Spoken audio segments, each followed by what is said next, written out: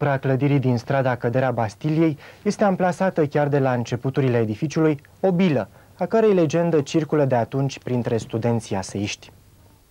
Legenda spune că bila de pe ASE va cădea în momentul în care prima studentă neprihănită va părăsi această instituție de învățământ superior.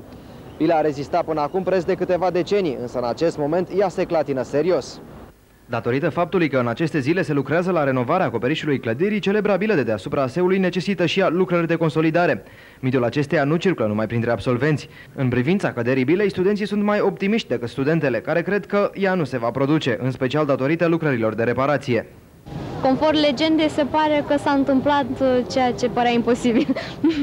Bila va cădea atunci când uh, va termina facultatea o fată, mă rog, mai pură așa. Pentru că s-au schimbat multe și nu mai sunt atât de multe fete așa cum ar fi vrut să, acea bilă să fie. Probabil că se pregătește ceva, nu? Poate la următoarele alegeri. Șoferii care parchează în zona Academiei de Studii Economice nu-și fac însă nicio problemă. În opinia lor, Bila nu are nevoie de nicio consolidare. Nu, no. nu are de ce să fie frică. Nu o să cadă Bila în 2000 de ani de acolo. Și cetățenii care trec prin fața aseului consideră că legenda va dăinui peste timp. Bila nu are cum să cadă.